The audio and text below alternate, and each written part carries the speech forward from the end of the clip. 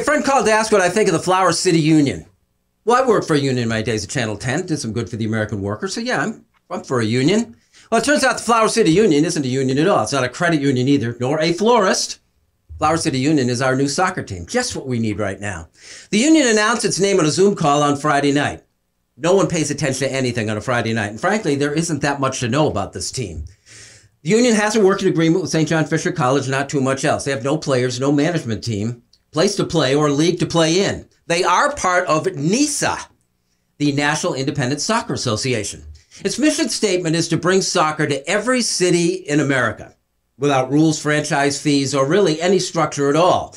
A plan for a relegation system failed when the top tiered league in the proposal folded. And of course, it was formed into the teeth of a pandemic. So, what are we to make of all of this?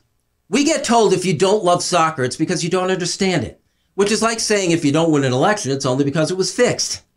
That didn't fly either.